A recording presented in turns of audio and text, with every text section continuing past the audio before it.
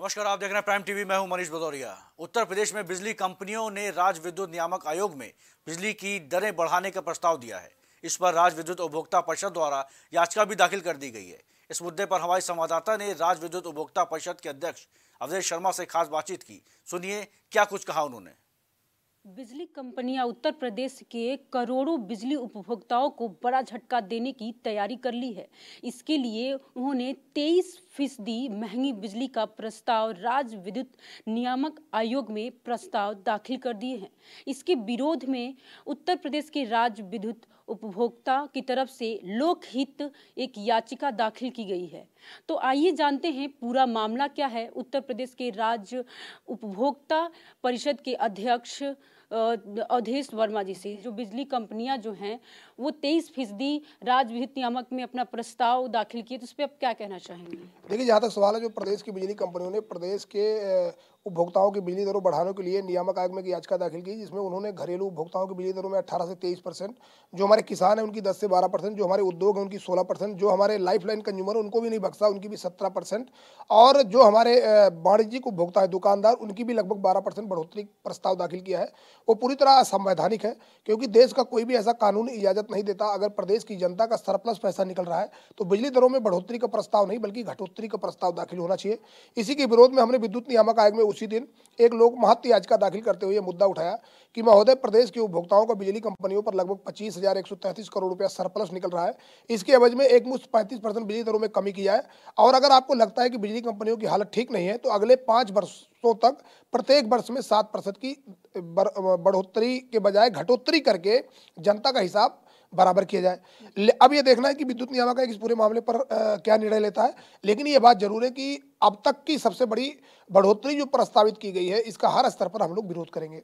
कितने यूनिट दरें बढ़ जाएगी और बिजली बिल में क्या फ़र्क आएगा? देखिए भारतीय जनता पार्टी ने अपने घोषणा पत्र में कहा था कि तीन जो हमारे लाइफ लाइन कंज्यूमर है बीपीएल है उनको सौ यूनिट तक तीन रुपया देना पड़ेगा। उसके भी विपरीत जाकर इन्होंने तीन रुपये के बजाय तीन रुपया पैंतीस पैसा कर दिया। तो निश्चित तौर पर लोगों की दरों में बढ़ोतरी होगी। जो गरीब उपभोक्ता है अब मैं आपको उदाहरण देना चाहूँगा कि जो हमारा आखिरी स्लैब घरेलू का शहरी का है वो छह रुपया पचास पैसा था। अगर सौ यूनिट कोई खर्च करता तो छह सौ पचास रुपया देता। अब इनके हिसाब से इन्होंने आठ रुपया प्रस्तावित कर दिया। सीधे उसमें लगभग डेढ़ सौ रुपये की बढ़ोतरी कर दिया सौ यूनिट के ही अंतर्गत। तो निश्चित तौर पर बहुत भारी भार पड़ेगा हमारे प्रदेश की जनता के ऊपर। और जहाँ तक सवाल है कि बिजली दरों में अभी नियामक आयोग जब इसको संवैधानिक तरीके से देखेगा अभी वो कई उससे गुजर के जाएगा। अभी आपत्तियाँ दाखिल होगी, फिर हम लोगों की सुनवाई होगी, फिर हम लोग अपनी बात रखेंगे, फिर इसके बाद अंतिम में राज्य सलाहकार समिति की बैठक में जाएगा, उसमें भी मैं मेंबर हूँ, वहाँ भी मैं अपनी बात रखूँगा। हमारी आपत्तियों का जवाब इनको देना पड़ेगा तो सब मिलाकर अभी मामला बहुत कठिन है। हमको पूरी उम्मीद है कि जीत हमारी होगी, जैसे पिछले तीन सालों से हम लड़ाई लड़के बिजली दरों में बढ़ोतरी नहीं होने दिए तो आगे भी हम बिजली दरों में बढ़ोतरी नहीं होने देंगे, ऐसा मैं अपने प्रदेश की जनता को आश्वस्त करना चाहता हूँ। सर, अगर ये राजनीतिक मुद्दा बनते जा रहा है, विपक्ष का कहना है कि हमारे टाइम ना इतना महँगाई था, ना बेरोजगारी था उसमें से ये बिजली बिल भी बढ़ाया जा रहा है तो इसको लेकर आप क्या कहना? विपक्षों का ये साफ़ तौर पर यही कहना तो आप क्या कहना चाहते देखिए, जहाँ तक सवाल है, जब जो भी पार्टियाँ जब सत्ता में आती हैं तो वो एक तरह से पब्लिक को बहुत ऊँची नज़र से देखती हैं, उनको पब्लिक का सुख दुख नज़र नहीं आता। मैं आपको बताना चाहता हूँ, जो विपक्ष में बैठे लोग हैं, जब वो सत्ता में रहते तो वो भी बिजली दर बढ़ाते हैं। इसके पहले समाजवादी पार्टी की सरकार थी। उन्होंने अपने दस साल के हर साल उन्होंने बिजली दर बढ़ाई। लगभग चालीस परसेंट से ज़्यादा बिजली दर उनके कार्यकाल में भी बढ़ी। भारतीय जनता पार्टी की सरकार आई, इन्होंने ही लगभग छत्तीस परसेंट बिजली दर बढ़ा दी। अब ये जो प्रस्ताव दिया है, यही आप देख लीजिए कि कितना बड़ा लगभग सोलह परसेंट औसत वृद्धि का प्रस्ताव दे दिया इन्होंने, पंद्रह पॉइंट एट प्रतिशत। तो आने वाले समय में अभी आपको पता होगा कि जब बिजली दर, इसके पहले बाईस तेईस की जब बिजली दर सामने आई थी तो जो सात रुपये का स्लैब था, हम लोगों ने काफ़ी लड़ झगड़ के कहा कि जो यूपी है, इंडिया के टॉप फाइव अधिक बिजली दरों वाला राज्य है तो ये एक बार बार जब सवाल उठता है, इसको कम किया जाए। अंततः विद्युत नियामक आयोग ने हम लोगों की बात को मानते हुए जो आखिरी स्लैब सात रुपए का था, उसको उन्होंने छह रुपया पचास पैसा कर दिया। हमारे प्रदेश के जो ऊर्जा मंत्री जी है ए के शर्मा साहब, उन्होंने खूब बड़े बड़े ट्विटर पे पोस्टर रोज डाल डाल के कि देखो हमने क्या कर दिया, देखो हमने क्या कर दिया। हमारी सरकार ने छह रुपया पचास पैसा ला कर दिया जो आखिरी स्लैब सात रुपया का था। अब माननीय ऊर्जा मंत्री जी चुप बैठ गए हैं। जबकि साढ़े छः रुपये का आठ रुपया पहुँच गया। केवल छः महीने के अंतर में है आप छः महीना पहले आप वाहवाही कर रहे थे और अब छः महीने में जब वो साढ़े छः को आठ रुपया हो गया तो अब कोई भी एक ट्वीट नहीं कर रहे आप। माननीय ऊर्जा मंत्री जी, आपको ये देखना पड़ेगा। प्रदेश की जनता की जवाबदेही आपके साथ जुड़ी हुई है।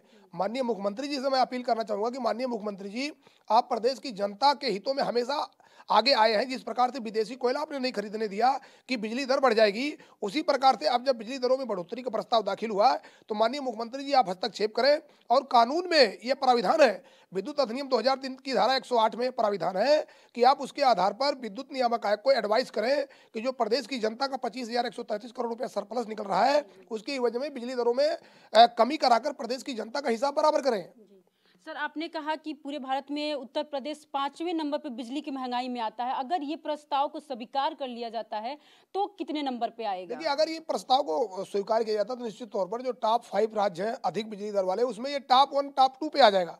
और ये देश के लिए दुर्भाग्य होगा कि उत्तर प्रदेश में जो बड़ी बड़ी बातें होती है जब चुनाव आता है जब अभी चुनाव आया था देखा आपने कोई भी विपक्ष भी हल्ला मचा रहा था इतना फ्री कर दो उतना फ्री कर दो हमारी सत्ता पार्टी जो वर्तमान में भारतीय जनता पार्टी है इन्होंने भी कहा था हम किसानों की बिजली फ्री करेंगे। किसानों की बिजली आपने फ्री तो नहीं किया, जो पचास परसेंट आप रिबेट दे रहे थे, एक सौ सत्तर रुपये का पचासी रुपया ले रहे थे, उसको भी आपने बढ़ोतरी प्रस्ताव में दे दिया। एक सौ सत्तर की बजाय आपने एक सौ नब्बे रुपया कर दिया, प्रस्ताव दे दिया। तो सब मिलाकर जो भी कथनी करने में इन लोगों के बहुत ही अंतर होता है। तो मैं फिर एक बार कहना चाहूँगा, जो लोग सत्ता में पहुँच गए हैं, प्रदेश के जनता की वोट पर प्रदेश में तीन करोड़ छब्बीस लाख विद्युत उपभोक्ता है। अगर एक घर में पाँच पाँच सदस्य मान लिया जाए तो पूरी प्रदेश की आबादी है विद्युत उपभोक्ताओं की। तो पूरा प्रदेश अगर हंड्रेड परसेंट विद्युत उपभोक्ता है तो उसकी दरों में अगर आप बढ़ोतरी कर लेंगे तो आने वाले समय में जब आप सत्ता में वोट मांगने जाएँगे तो आपको बहुत ही दुर्दिन देखना पड़ेगा। इसलिए अभी भी समय है प्रदेश के जनता का इम्तहान न लें और प्रदेश के उपभोक्ताओं की बिजली दरों में कमी कराकर प्रदेश की जनता को एक तोहफा दें। इस मह, इस महँगाई के दौर में अगर बिजली दरों में भी आपने महँगाई कर दिया तो कई तरीके से महँगाई बढ़ेगी। अगर दुकान की बिजली आप महँगी करेंगे तो दुकानदार के यहाँ जब हम कोई सामान लेने जाएँगे वो अपने सामान का मूल्य महँगा कर देगा। तो सब मिला के जो गरीब जनता है उस वही पिसेगी। इसलिए इसको सरकार को बहुत गंभीरता से लेकर और अपने निर्णय पर पुनर्विचार करना चाहिए। अगर सर ये प्रस्ताव को स्वीकार के लिए तो आगे आपकी क्या रणनीति होगी? आपने भी याचिका दाखिल की है लोकहित के अ, साथ में तो आपको क्या आगे रणनीति होगी? उसके बारे में कुछ बताइए। देखिए जहाँ तक सवाल है जो ये एक संवैधानिक प्रक्रिया का मामला है।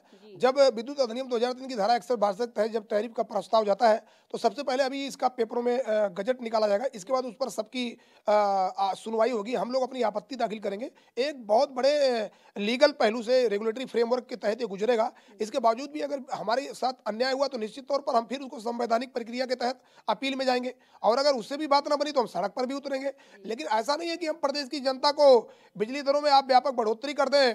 और सत्ता पक्ष और विपक्ष ट्विटरबाजी करता रहे और बड़ी बड़ी बातें करके, बयानबाजी करके हट जाए और प्रदेश की जनता को न्याय न मिले तो ये हम कतई बर्दाश्त नहीं करेंगे। एज ए उपभोक्ता लीडर ये हमारा फ़र्ज़ है कि अपने प्रदेश की जनता के लिए मैं संघर्ष करूँ, उनके लिए लड़ाई लड़ूं और उनको न्याय दिलाऊं। और वो सभी प्रक्रिया जो संवैधानिक तरीके से हमें इजाज़त देती है, उसका हम उपयोग करेंगे और प्रदेश की जनता पर भार नहीं पड़ने देंगे। शुक्रिया, सर।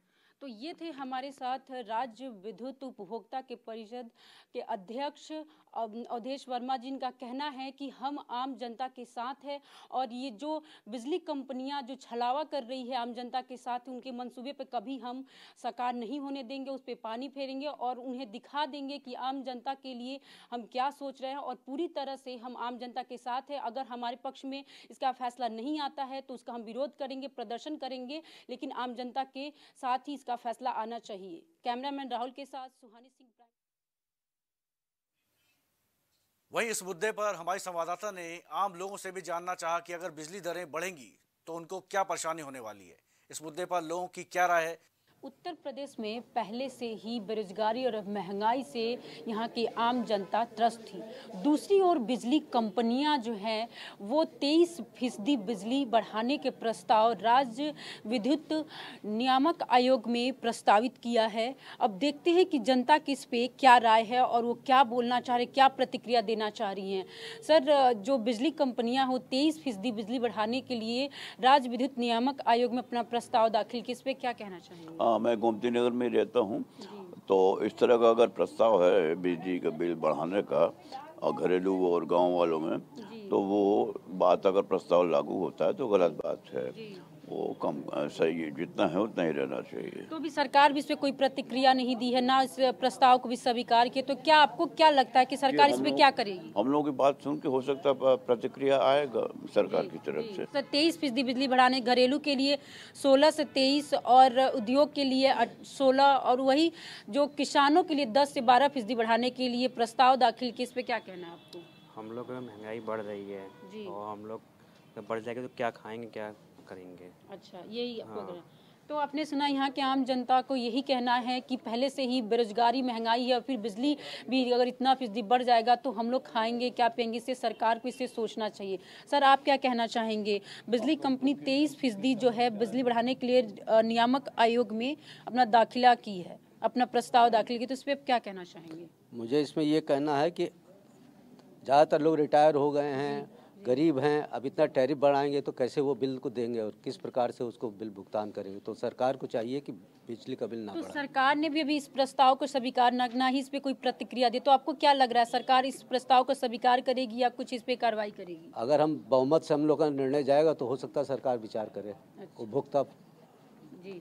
उपभोक्ता का संघ जो है उसकी तरफ़ से वर्मा जी हैं। जी जी। तो विपक्षों का यही कहना है कि हमारे टाइम ये बिजली बिल इतना नहीं बढ़ा था अब बढ़े तो क्या इसी सरकार में बढ़ रहा है या अगले सरकार में भी? आप तो जानते होंगे अगले सरकार में भी बिजली बिल बढ़ाया गया था या ऐसे ही मिनिमम था?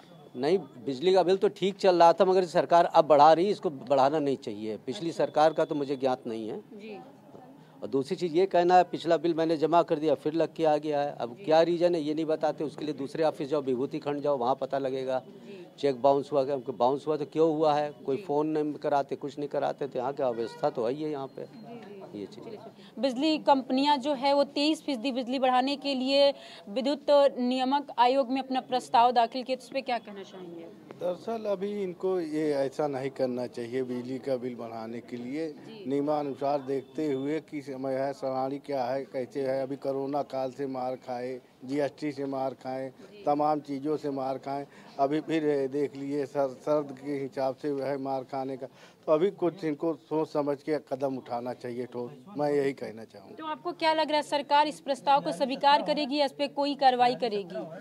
अब ये तो सरकार के ऊपर है सरकार को सरकार चलाना है तो किस तरह चलाना है उसको खुद वो आत्मनिर्भर होकर देखे कि हाँ कि तमाम चीज़ से जूझ रहे हैं आम जनता इन जनता के लिए क्या सही या, या क्या गलत किया जाए वो उसके ऊपर निर्भर करता है ना। विपक्षों का यही कहना है कि सरकार में ज़्यादा बिजली बिल बढ़ रहा है पिछले सरकार में नहीं थी तो क्या ऐसा आपको देखने को मिल रहा है?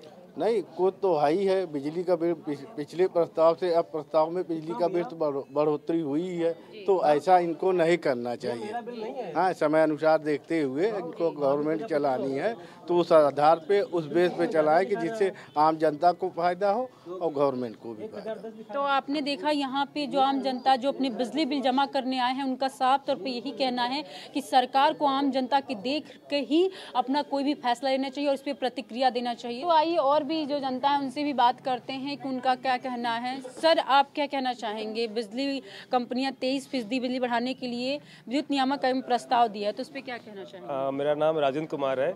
जो। भी कंपनी सरकार प्रस्ताव लाती कुछ अच्छे के लिए ही लाती है हमें सरकार के के साथ रहना चाहिए और सरकार पर भरोसा भी करना चाहिए। जो कंपनियाँ ला रही हैं किसी सुधार के लिए ला रही होंगी कोई प्रस्ताव उन्होंने दिया होगा तो- तो उस पर अपना नियामक और विद्युत नियामक और लोगों का जो पहले से खर्चे थे अब के जो खर्चे वो सबको ला के ही प्रस्ताव कोई बनाया जा रहा होगा।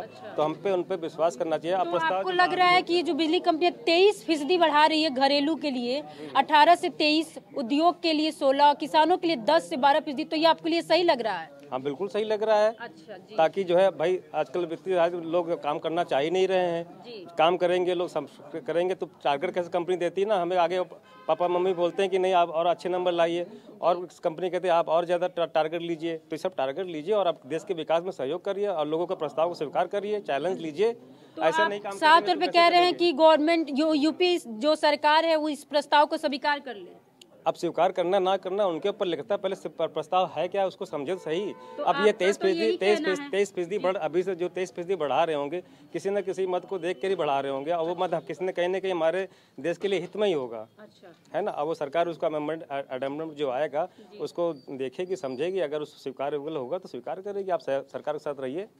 थैंक यू सर आप क्या कहना चाहेंगे? तेईस फ़ीसदी बिजली बढ़ाने के लिए जो प्रस्ताव burden on public middle class family मर तो जाएगी। आपने अभी सुना जस्ट एक आम जनता को यही कहना अब है। उनकी कैपेसिटी उनकी अर्निंग है अच्छी तो दे सकते हैं जिनकी अर्निंग नहीं है।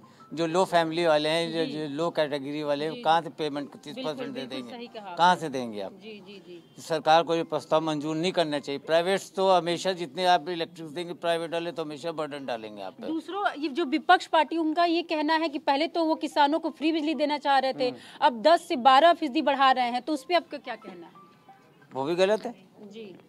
तो उसमें सरकार को कार्रवाई करेंगे या ये प्रस्ताव को स्वीकार कर लेंगे? इसमें क्या कार्रवाई करनी चाहिए इस पर क्यों बढ़ाएँगे भाई? किसानों को क्यों एक तरफ़ तो वो आप वाले फ्री बिजली बांट रहे हैं एक तरफ़ इधर कंपनी वाले तीस परसेंट या सोलह परसेंट जो भी बढ़ा रहे हो ये कहाँ का रूल है? पंजाब में फ्री कह रहे हैं दिल्ली में फ्री है। यहाँ क्या यूपी में खाली बढ़ाने का प्रस्ताव है?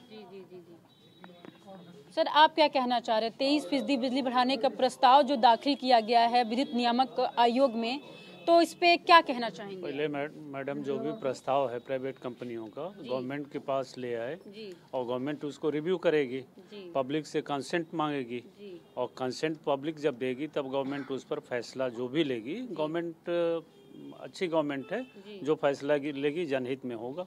सर विपक्षों का कहना है कि हमारे सरकार में इतनी महँगी बिजली नहीं थी इसमें ज़्यादा बढ़ाया गया है। विपक्षी का कहना कोई औचित्य नहीं है जो शासन में नहीं रहता है वो ऐसे ही कहता है। और हाँ इस समय आएगा तो आपने देखा यहाँ तमाम जो जनता है उनका यही कहना है जो अपना बिजली बिल जमा करने है कि ऐसा कोई नहीं था कि पिछले सरकार में बिजली बिल कम था और इस सरकार में ज़्यादा हो गया है। अगर जो भी ये प्रस्ताव आया है उस पर सरकार पूरी तरह से देखेगी और जनता के हित में ही अपना फैसला लेगी। कैमरामैन राहुल के साथ सुहानी सिंह प्राइम टीवी लखनऊ।